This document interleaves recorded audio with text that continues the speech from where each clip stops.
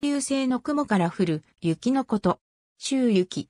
降雪強度が急に変化し、降り始めや降り止みが突然で、空間的な雪の分布を見ても変化が大きく、散発的であるのが特徴。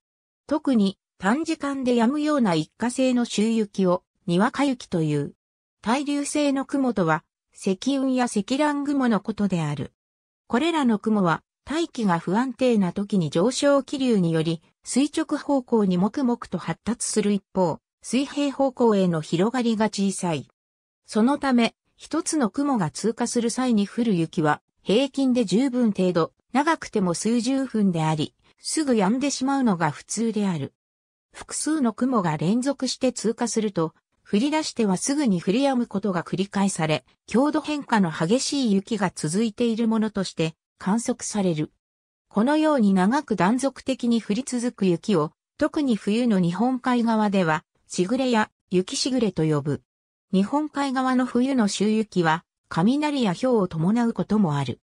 国際気象通報式のシノップ及びシップにおいて、天気のコーデは、の5種類が、周雪、周雨性のみぞれを表す。なお、あられ、氷、雷などが、同時にあればそれが優先され、違う表記となる。